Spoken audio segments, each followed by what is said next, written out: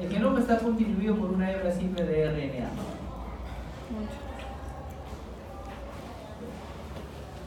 Los vectores van a depender del ciclo, ¿no? Si es el ciclo urbano, el vector es Aedes aegypti, y el ciclo silvestre, Aemagopus o Sabetes. El ciclo silvestre es fiebre amarilla selvática. Ciclo urbano, fiebre amarilla urbana.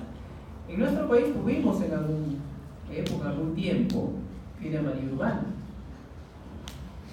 Y el último reporte fue el año de 1922, ¿no? mucho tiempo no tenemos. Lo que tenemos es fiebre amarilla selvática, ¿no? Silvestre. Entonces, ¿cuáles son las zonas de riesgo para fiebre amarilla? Acá, a diferencia de lo que hemos visto anteriormente en el dengue, las zonas de riesgo es selva alta y selva baja. No se reportaba en otra región, selva y selva baja. Selva alta, departamentos de Junín, Huánuco, Ayacucho, Puno, Pasco, Cusco también, Selva Baja, Madre de Dios, Cayani, sur de San Martín, Loreto. Cuencas hidrográficas de los ríos de la selva. Estas son las cuencas hidrográficas de los ríos de la selva. Zonas cocaleras, zonas cafetaleras, zonas donde emigra la gente de la región andina va a trabajar, ¿no? La selva. Entonces lo que ocurre, ¿cuál es el contexto de estas áreas? zonas de extrema pobreza, polos de desarrollo, de migración, empleo temporal. ¿no? Personas que viven en la región andina van a, la selva a trabajar. Y muchas de ellos no, no han sido vacunadas están en riesgo de hacer fiebre amarilla. Como están trabajando selva adentro y se hace el cuadro clínico de fiebre amarilla para que lleguen a los servicios de salud, es harto complicado, ¿no? hay problemas de accesibilidad económica, cultural y geográfica. De otro lado, la capacidad y la cobertura resolutiva de los servicios de salud es insuficiente. ¿no? no va a tener un ventilador, ¿no? la infraestructura de UCI para manejar los casos graves.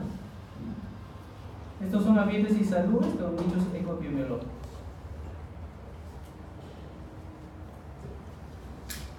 Este es el mapa riesgo de fiebre María del 2015. Bueno, pero que es para mencionarles lo mismo, lo que es las zonas de, riesgo, selva alta, selva baja, los cuencos hidrográficos de los ríos de la selva. Entonces, Fiebre amarilla urbana tuvimos, ¿no? hasta 1922. Sabemos que el vector es aéreo. Tenemos acá por fiebre amarilla selvática. En la fiebre amarilla selvática, los vectores amagogos y sabetes mantienen ¿no? el ciclo silvestre en los primates. Los primates, ahí se transmite la fiebre amarilla. El hombre cuando ingresa a trabajar selva puede ser picado por estos amagos o sabetes y va a adquirir fiebre amarilla. Y hace la fiebre amarilla selvática. Si esta persona se encuentra en epidemia y regresa a la ciudad y es picado por esa aegypti, este aegypti puede transmitirlo a otra persona. ¿Y esta persona qué es lo que va a hacer? Fiebre amarilla urbana. O sea, hay una posibilidad de que pudiera presentarse fiebre urbana, sí, pero la posibilidad no es muy grande, felizmente, porque el paciente, para que esté virémico, es aproximadamente segundo tercer día, y segundo o tercer día no tiene mucha, mucha sintomatología. Todavía seguro va a estar en la selva trabajando. Es cierto que existe un riesgo, una posibilidad de amarilla urbana, pero felizmente es un riesgo bastante disminuido.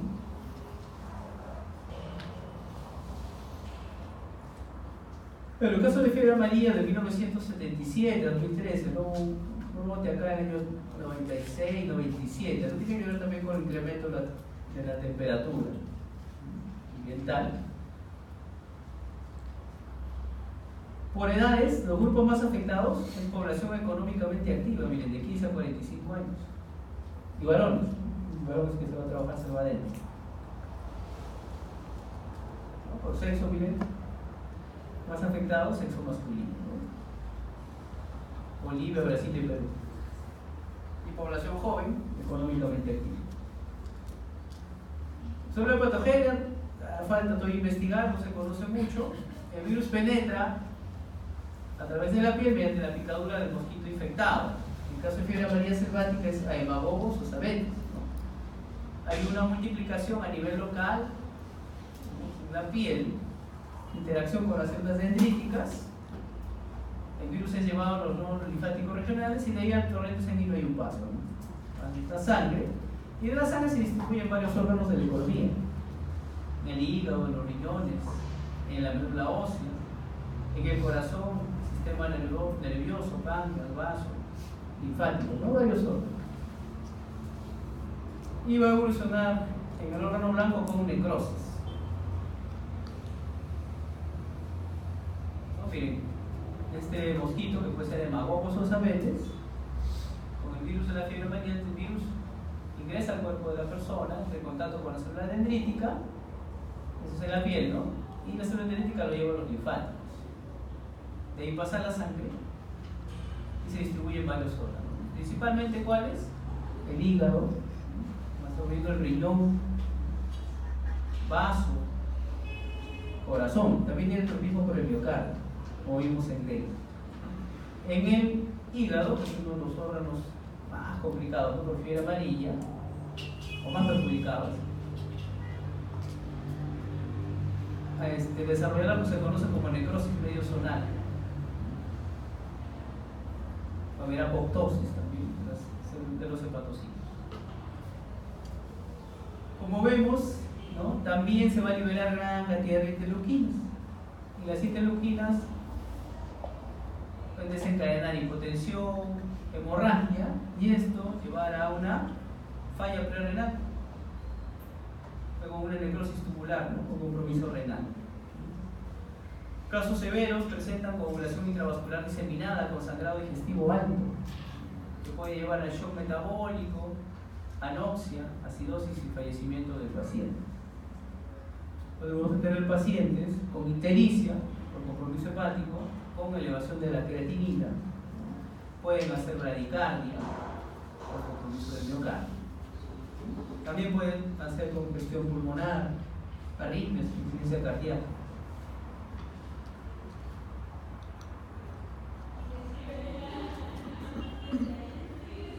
Muy manifestaciones extrahepáticas en daño hepático.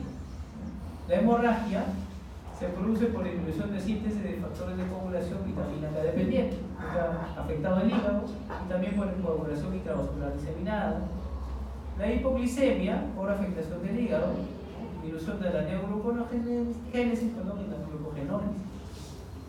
La hipotensión por hemorragia y también se cree por disminución de la detoxificación de sustancias vasoactivas o por secuestro portal. La cirrosis metabólica por hipotensión hipoperfusión tisular. deterioro del metabolismo de los carbohidratos e insuficiencia renal aguda. Cuando hay hipoperfusión tisular, la célula utiliza la vía anaeróbica y lo que va a hacer es eliminar o liberar lactato.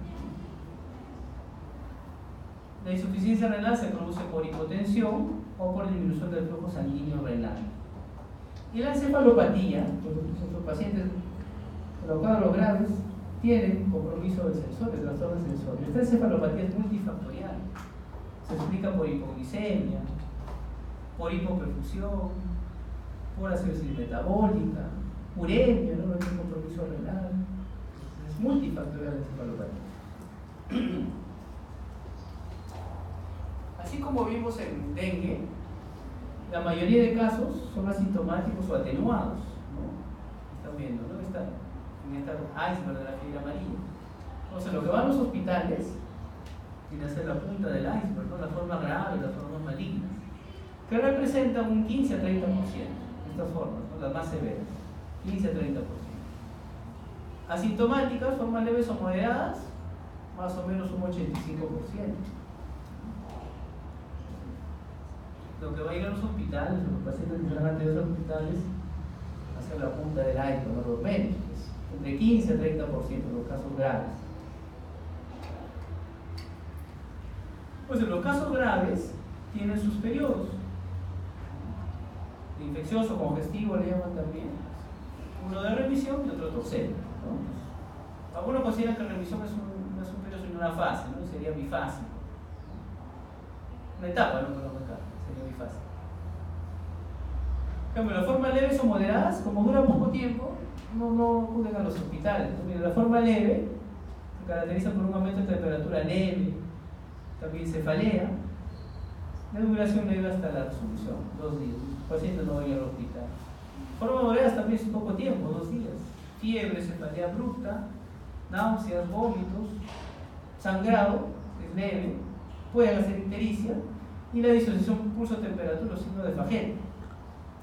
El paciente incrementa el, pulso, está aumentado, la frecuencia cardíaca. Eh, disculpen, tiene fiebre y sin embargo no, se corresponde la fiebre con el incremento del pulso. ¿Sí? Elevación de la temperatura y el pulso no ha variado mucho. Esa es la disociación pulso-temperatura. Que podemos verlo también en otras enfermedades. Salmonelosis puede. Algunos casos de dengue también puede haber. Luego tenemos la, las formas severas, las formas graves, que vamos a desarrollar después. Vamos a desarrollar después uno por uno estos periodos, ¿no? infeccioso congestivo, remisión o toxemia. Bien, entonces esta es la forma grave que hemos dicho es 15 a 30% de casos más o menos. Las dos fases están separadas por un periodo de remisión y la viremia va a ocurrir en la primera fase. Y en esta etapa el cuadro clínico es inespecífico. ¿no? La segunda fase, que es la fase toxémica, en esta fase sí ya vamos a tener disfunción hepática, función renal y hemorragia. Con fiebre amarilla el periodo de incubación es corto, 3 a 6 días. Es corto. El periodo de transmisibilidad de la viremia es 24 o 48 horas antes del inicio de los síntomas y puede ser hasta 3 a 5 días después del inicio de los síntomas. Más frecuentes en los primeros días, 24 o 48. Ahí la, la viremia es más alta.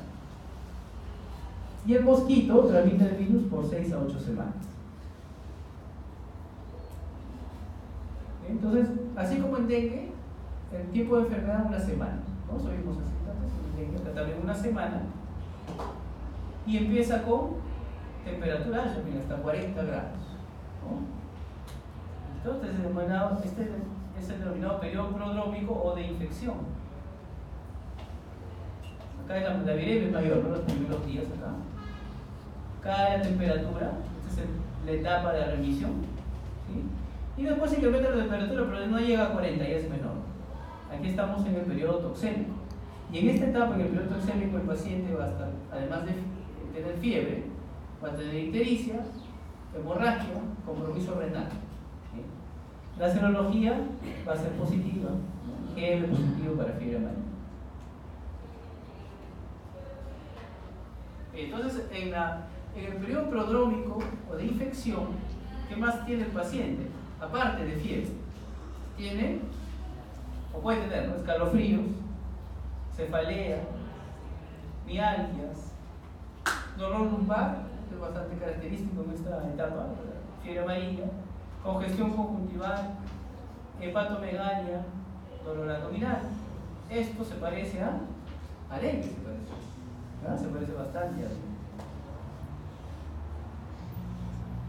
el paciente, eh, el paciente en periodo de infección, fase congestiva, roja, también se llama prodrómica, con las escleras congestivas.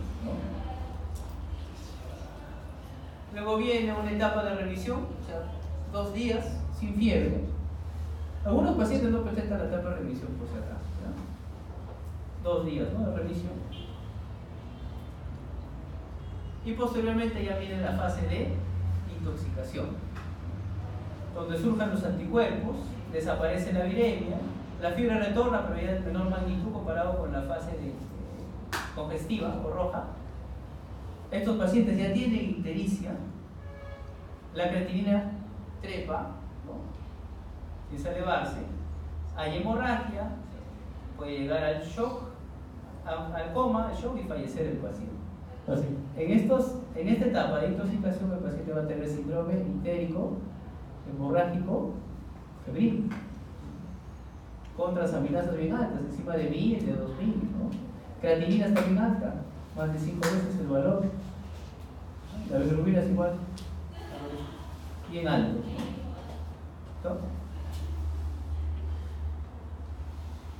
Este se en el periodo de intoxicación amarilla o denominado interhemorrágico, toxémico también es otra denominación. Miren que está con trastorno del sensorio. No se nota ahí mucho la ictericia. A su paciente ictérico con trastorno sensorio está presentando epistasis, ¿no? manifestaciones hemorrágicas. Paciente con síndrome ictérico hemorrágico febril. Claro, lo vamos a enfocar así un paciente con síndrome intérico hemorrágico fluido y usted no se diferenciar si es que viene solo ese o es fiebre amarilla, ¿no? tiempo de enfermedad dentro de la semana.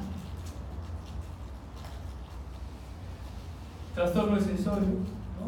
no con los ojos cerrados y hay sangrado digestivo. ¿no? Pueden tener vómito negro también. trastorno del sensorio y edema facial, epístasis y más gingivorragia. Esta es en la fase toxémica, ¿no? también se llama intoxicación amarilla o interhemorragia. Otro paciente con trastorno del sensorio, ¿no? ¿Y qué más vemos? Trastorno de la coagulación, ¿no? Hacen coagulación intravascular diseminada. Muy bien, la mayoría de personas infectadas presentan infección subclínica, ya hemos visto, un 85% más o menos. La forma leve y moderada se evoluciona con fiebre alta, malestar, puede haber cefalea, mialgias, cansancio y en los casos moderados, vómitos, diarrea. Pero dura poco tiempo, dos días, no más. La mayoría de los pacientes mejoran otro día con recuperación total. 15 a 30% van a evolucionar a las formas graves, como hemos visto, ¿no? Con una fase prodrómica periodo de remisión, dos días, y luego una fase toxémica. Y en la fase toxémica ya presentan ictericia, hay hemorragia. En la forma grave los, pacientes van a presentar fiebre alta, dolor epigástrico, diarrea y vómitos, un vómito con sangre, no vómito negro. Y puede haber otras manifestaciones hemorrágicas, como epístasis, equimosis y hemorragia.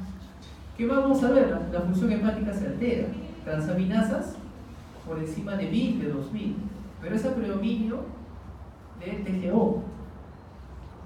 O sea, TGO más que TGP. ¿Por qué? Porque el virus tiene tropismo sobre el miocardio. ¿no? El TGP es más específico del hígado. El TGO más del corazón. Acá vamos a ver incremento de ambos.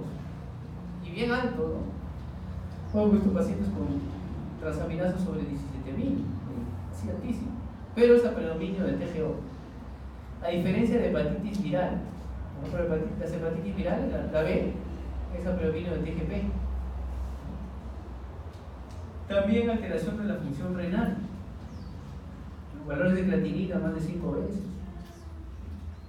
Un paciente que vimos de hace algunos años, de varios años atrás, pero que llegó muy grave a la emergencia, a trauma shock de Pichanay, también de la selva de, de Junín, joven de 18 años, agricultor, llegó a anuria, eso es mal pronóstico. Estaba también con síndrome intérico, febril.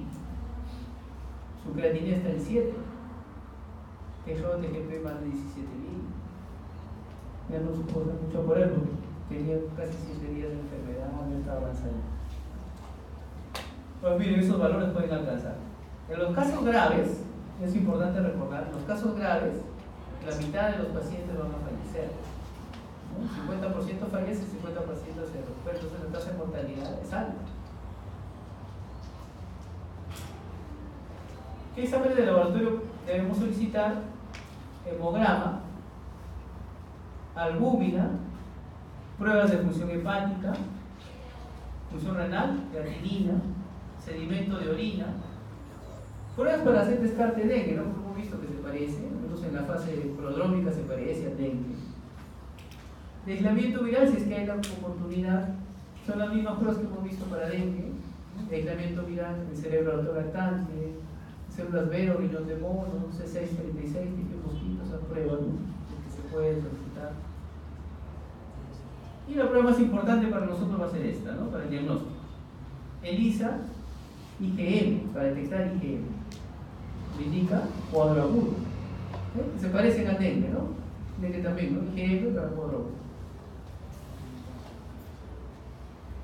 En el hemograma al comienzo va a haber discreta leucocitosis con neutrofilia y desviación a la izquierda con sinopenia. Tercer cuarto día ya hay leucopenia con linfocitosis, permanece la desviación izquierda y la eosinopenia. No es específico, esto no es específico. Esto sí nos orienta a pensar más, ¿no? Las transaminasas bien elevadas, más de 1000, más de 2000. A predominio de TGO, ¿no? porque tiene tropismo por el miocardio, virus amarilla. Las bilirrubinas también bastante altas, más de 20 miligramos por ciento. Se aumenta el colesterol, la fosfatasa alcalina, la creatinina y la urea elevada. La creatinina puede estar más de 5 o 6 veces. En el caso que les comenté, el muchacho de Pichanán tenía 7 de creatinina. Subió más todavía, en horas. En la orina podemos ver proteinuria, hematuria, cilindruria en los casos graves, oliguria o anuria. Esos son los casos del peor pronóstico. Como hacen coagulación intravascular diseminada, TP, TPT y tiempo de coagulación van a estar prolongados. ¿no? Hay consumo de fibrinógeno, o sea, disminución de fibrinógeno. El NR también está prolongado, pero 1.5. Y las plaquetas menor de 50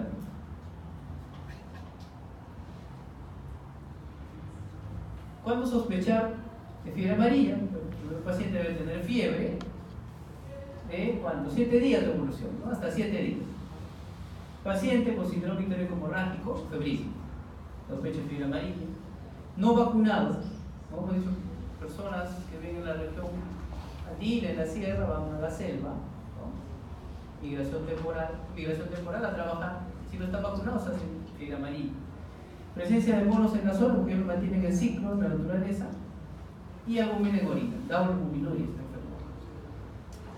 esta la prueba de calentamiento de orina me permite detectar la presencia de albumina en pero recuerden que otras enfermedades en zona de selva que también ocasionan eso, leptospira también ocasiona albuminuria. Eso no es tan específico. Pues el diagnóstico indirecto lo hacemos con la serología. El IgM, así como el dengue, aparece después de la primera semana, después del quinto o sexto día. Está, positivo IgM. Y otra prueba que tiene valor diagnóstico es incremento de IgG cuatro veces en una primera muestra y su variable. incremento cuatro veces también tiene valor diagnóstico. Recordad que los anticuerpos presentan relación cruzada con flavivirus, ¿no? dengue, hepatitis japonesa si uno quisiera ser bastante académico, con el incremento cuatro veces tiene más certeza ¿no? de, que es, de que es fiebre amarilla, cuatro veces significa. Entonces, para el diagnóstico de fase aguda, ¿qué pruebas utilizamos? Depende de, la etapa. ¿no? Si es menos de cinco días, o sea, dentro de los cinco días, puede ser cultivo celular, que se la zona estante, células B o de mono o tejido de mosquito esta prueba IFU, una fluorescencia indirecta. O puede ser prueba molecular, puede ser de tiempo real, es menos de 5 días. 6 días en adelante, ¿no? y tiene más rendimiento al décimo día en el ISA de captura, IgM. si yo quiero verificar el incremento en 4 veces IgG, le pediré pues a, los 20 días otra prueba para ver el incremento, de ISA, ¿no? el, IgG, para ver el incremento cuatro veces y también tiene validez. Diagnóstico. Así como en dengue existe TARIC, IgM para fiebre amarilla. Igual, los resultados están en poco tiempo, dos horas más o menos. IgM para fiebre amarilla. Recuerden que esto es positivo después del sexto día de enfermedad. Y en los casos de los pacientes que han fallecido con el síndrome entérico, hemorrágico, febril, que no se encontró la causa, hay que hacer autopsia, biopsia hepática. Y pues, podemos pedir cultivos, inmunistoquímica o pruebas moleculares. Esto jamás el paciente vivo, ¿no? Paciente fallecido, la biopsia hepática. Si lo hacemos un paciente vivo, podemos aguantar al sangrado, y salimos en televisión. Entonces no se hace, es el paciente fallecido. ¿no? Pero es el caso que no se ha llegado a diagnóstico. Paciente con ictericia, con fiebre, con hemorragia, no llegamos a diagnóstico. Es una característica, ¿no? en histopatología, la biopsia hepática, la denominada necrosis medio zonal. Miren, los hepatocitos alrededor de la vena central todavía tiene su arquitectura conservada, ¿no? Y el resto, ¿cómo sabemos? Apoptosis, ¿no? Se llama necrosis medio zonal. Los hepatocitos que están alrededor de la vena central, su conformación está conservada. El resto tiene apoptosis, necrosis medio zonal. ¿Qué más podemos ver en histopatología de fiebre amarilla en el hígado? Los, denominados compúsculos de Kunzman. Se llama.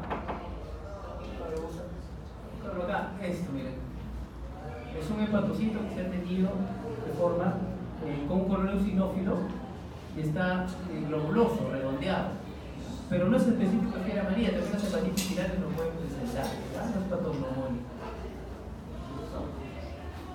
Vemos también la, la esteatosis, ¿no? la necrosis, medio zonal. El diagnóstico diferencial es con otras entidades que ocasionan ictericia, fiebre, hemorragia, por ejemplo, la lectospirosis, malaria grave, hepatitis viral, especialmente la hepatitis B y la delta, y la fiebre hemorrágica potente. Muy bien, entonces en lectospirosis, clínicamente, ¿cómo lo podemos diferenciar? Las manifestaciones digestivas son menos pronunciadas y la hemorragia más tardía. En malaria por una anemia precoz, esplenomegal y menos tendencia a la hemorragia. En las virales, la fiebre es poco aceptada porque es su película, ¿no? es el. ¿no? La fiebre no es tan alta, fiebre amarilla hemos visto 40 grados o más. Y por los exámenes auxiliares, fiebre amarilla, TGO, TGP más de 1000, más de 2000, a predominio de TGO, ¿no? fiebre amarilla. No están tan elevadas las transaminasas, menos de 500. Manera por falciparum el aumento de transaminasas es discreto. En hepatitis virales sí, la elevación de transaminasas es más de 1000, pero es a predominio de TGP, porque es específica del I. Sobre el tratamiento del año 86, el Comité de Expertos de la OPS recomendó esto, ¿no? Estas las recomendaciones que se mantienen todavía en la actualidad. Mantenimiento nutricional, recuerden que estos pacientes hacen hipoglicemia, la recomendación destroza más que el 5%, destroza el 10% el día. Succión nasogástrica para evitar la distensión, la distensión del estómago, aspiración de secreciones, tratar la hipotensión con reemplazo de líquidos. Hay pacientes que van a requerir hidrotrópicos, drogas vasoactivas, ¿no? Oxígeno. Profesor, disculpe, buenas tardes. Buenas. Sí, ya estamos terminando. Ah, ya, okay. Tratamiento de la hemorragia con plasma plástico congelado, diálisis que hay renal y tratamiento de infecciones secundarias, neumonías, ¿no? infecciones de catéteres vasculares con antibióticos. Algunos casos han visto mejoría con ribabilina, pero son casos contados con dedos de la mano. ¿no? No, es que está indicado todo. No se debe emplear aires porque aumentaríamos los fenómenos hemorrágicos. Bueno, y ya para terminar sobre la vacuna, ¿no? La vacuna para fiebre amarilla, vamos a ver acá. La vacuna es, eh, se produce con cepa atenuada, 17D, y la recomendación actual es una sola dosis. Últimamente decían a 10 años refuerzo, ya no, es una dosis que protege al paciente por 50 años o más. Y la recomendación es antes de viajar a zona endémica, al menos 10 días antes. Eso da una protección del 90%. Pero si, si los aplicamos un mes antes, la protección es al 100%, casi al 100%. Lo mejor sería aplicarse un mes antes. ¿No? Entonces, esa recomendación de dar una sola dosis fue el año 2013. ¿no? Comité de Expertos y una dosis. Muy bien, por cuestiones de tiempo